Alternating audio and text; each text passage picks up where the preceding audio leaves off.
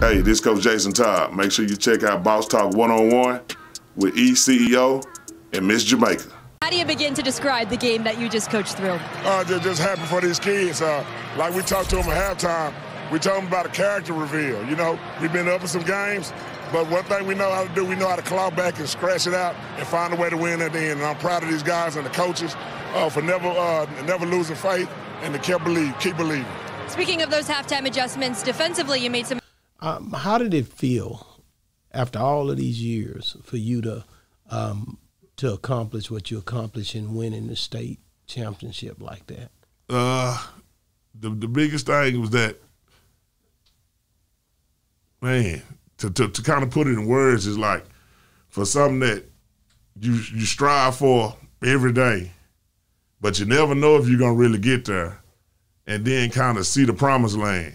It, like words can't really describe it because it's kind of like a feeling that I don't even know the word to describe. It. You know, like like it's, it's no word to really describe that feeling because at the end of the day, it's like, hey, did we really do this? So it's kind of like you're still in the dream world, you know, yeah. to to a certain degree where, you know, shoot, you know, it is, man, it, it was like a something you've been preaching to somebody on blind faith all these years. Yeah, yeah.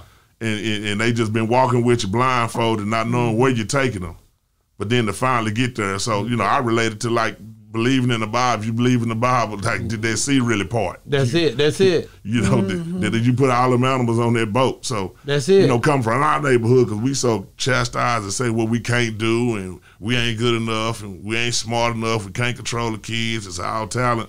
So you so beat down so much that when you get to this point, you know, you, you really just want to look at everybody, you know, and just go off, you know, yeah, really. Yeah. Because yeah. the last time a team from Dallas won was in the 50s. 1950s. Yeah. I mean, 58, uh, 58. is what they say in the record books, but it's 1988. You know, and I know oh. why you say that because why of what that? happened. Why? Be- because Carter actually won state in 88, mm-hmm. but later, a couple of years later, they, they were stripped it. of the title. Okay, yeah. yeah but, you know, I was at the stadium. I saw it. I saw them score the touchdowns. I saw the score with 31 to 14, I believe. So I witnessed it. So you know, they can't take the they victory away take. from me. Yeah. Yeah, yeah. No, and I get that because you've seen it and you understand what those kids went through to get what they got. Mm-hmm. And everybody wasn't to be blamed. Yeah.